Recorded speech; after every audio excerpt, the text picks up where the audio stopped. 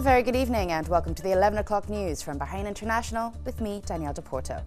His Majesty King Hamad bin Isa Al Khalifa, in the presence of His Royal Highness the Prime Minister, Prince Khalifa bin Salman Al Khalifa, and His Royal Highness the Crown Prince, Deputy Supreme Commander, and First Deputy Premier, Prince Salman bin Hamad Al Khalifa, received this evening at Sakhir Palace the speakers of the Representatives and Shura Councils, the ministers, the acting president of the Supreme Judicial Council, chairman and of the Financial and Administrative Control Bureau, president of Bahrain Chamber of Commerce and Industry, governors, and heads of municipal councils.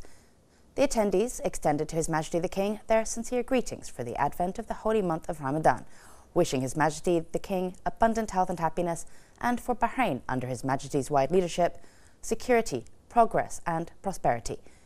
His Majesty the King welcomed all the well wishers and exchanged with them greetings, marking the holy month of Ramadan.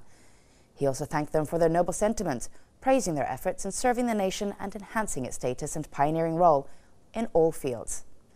On this occasion, His Majesty the King wished the people and residents many happy returns, and for the Islamic and Arab nations, peace and prosperity.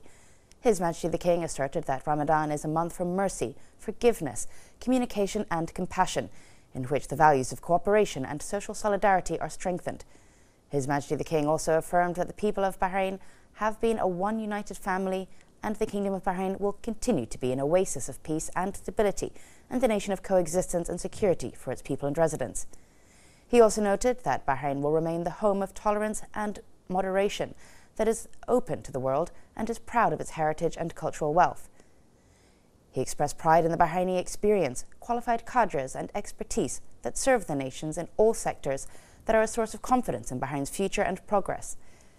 His Majesty expressed pride in the Bahraini competencies and expertise that serve the country in all sectors. He noted the importance of cooperation for a better future, praying for Allah Almighty for success and unification amongst the people of Bahrain.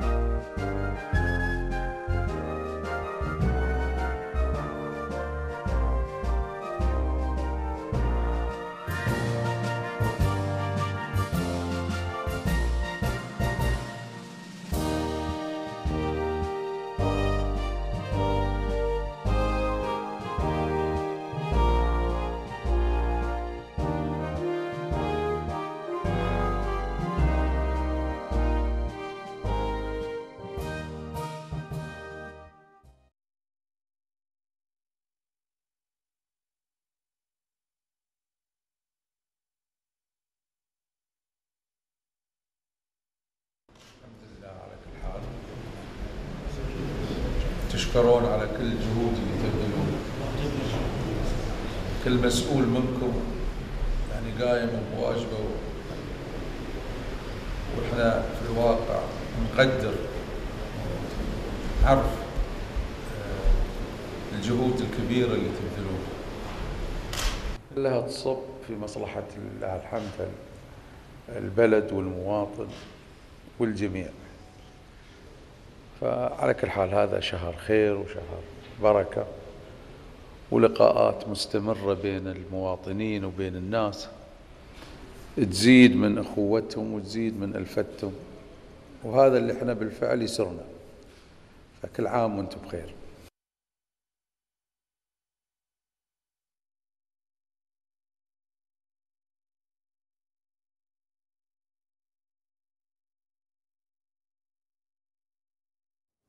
His Majesty the King also received heads of accredited diplomatic missions in the kingdom who congratulated him on the advent of the holy month of Ramadan, wishing he and the people of Bahrain many happy returns.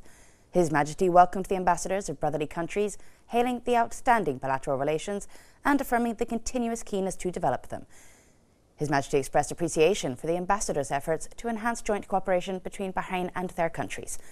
He asserted that the holy month of Ramadan enhances the values of brotherhood and cohesion and stresses the principles of Islam.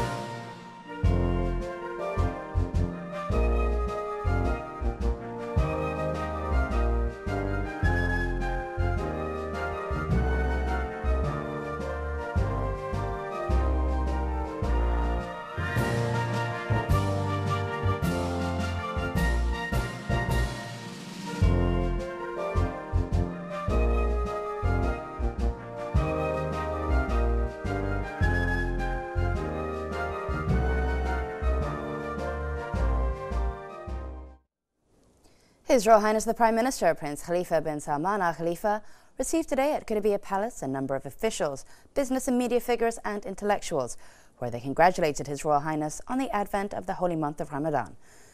His Royal Highness affirmed that the holy month's atmosphere is a sign of maintained security and stability for the region, especially after the successful historic summit recently held in the Kingdom of Saudi Arabia, which formulated an important phase of international joint action to enhance security and stability and combat terrorism.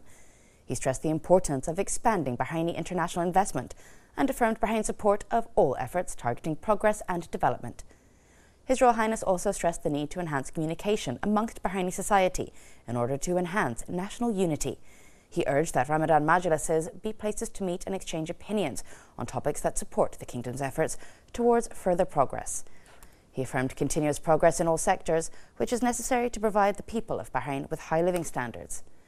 His Royal Highness praised the role of the media and press in contributing to the country's successful progress. He also discussed with the audience recent regional and international developments and added that the primary goal of every regional and international strategy is to maintain security and stability and achieve further prosperity.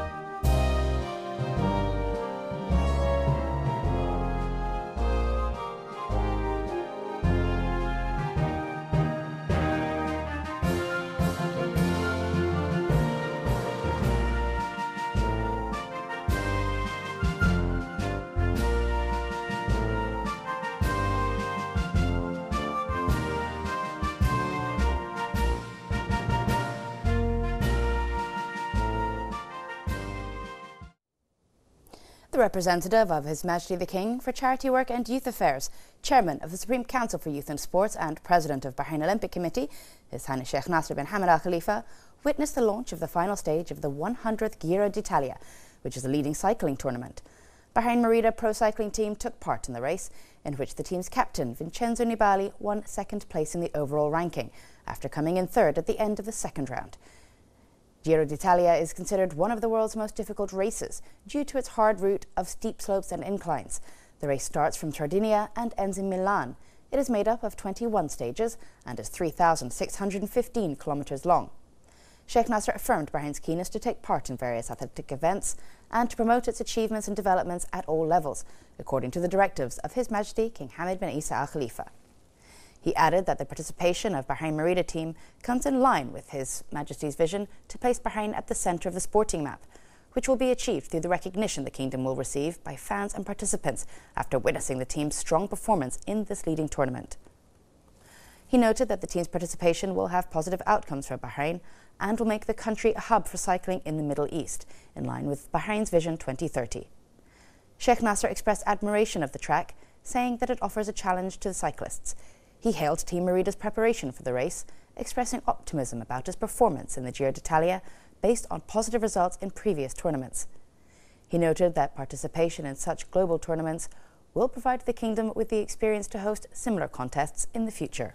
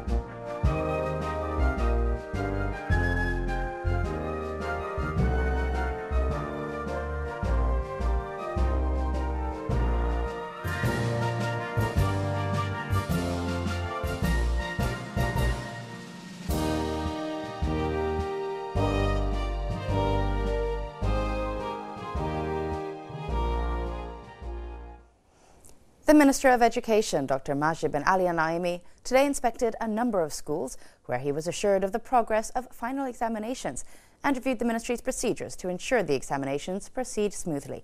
He also listened to the views and observations of a number of students and members of administrative and educational bodies regarding these examinations.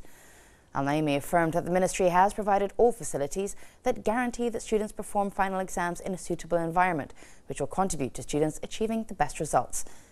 He added that the ministry took into account the accuracy and clarity of questions and formed ministerial committees competent to respond to questions from schools on this regard, also taking into consideration the difficulty or ease of the course when preparing the examination schedule. The minister also inspected a number of examination committees for students with special needs, cancer, and sickle cell disease. He also added that the ministry has provided a sufficient number of exam correction centres in all governorates, affirming the importance of committing to regulations and laws that ensure accuracy in correcting exams and sorting out the results on time. The minister praised the efforts of educators in the ministry and schools that aided the success of final examinations, wishing all students good luck. Ramadan is a time of reflection, spirituality, and ancient traditions. Individuals and retail stores have been busy getting ready to welcome the holy month. More in this report with Yasmin Ibrahim. Upon the approach of the month that features highly spiritually charged atmospheres blended into aesthetic rituals, preparations are in full swing in the kingdom.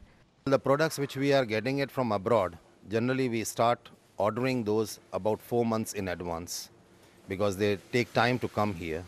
But as far as there are certain products which are local products, all the pro local products are being bought at least a month before and whole Ramadan display and everything goes on the shelves at least 15 to 20 days before Ramadan. Families early prepare themselves for the holy month of Ramadan through different rituals, starting from the moon sighting as people observe fasting from dawn to dusk, to buying food supplies, sharing Ramadan induced feelings of joy. Ramadan is different, different. Timing is different. So preparing for Ramadan usually it will be we are less sleeping, but most of the time we are going to prepare food, visiting family, or going shopping, or going to take items. Especially with the start of Ramadan, you know, uh, the pakoras, the samosas, the chicken, and you know all these uh, the frozen stuff, the the the seekh kebabs, you know. So this is something that is uh, iftar iftar is incomplete incomplete with. So we all uh, love to shop for Ramadan and. Uh, we look forward to working and we've got some good promotions and offers in Ramadan. I am preparing my home, also cleaning home, and I am came for shopping, for gro- take grocery for Ramadan. That's why I came here. I can't take in Ramadan, no. I, I will keep fast. That's why I came here to preparation for my Ramadan.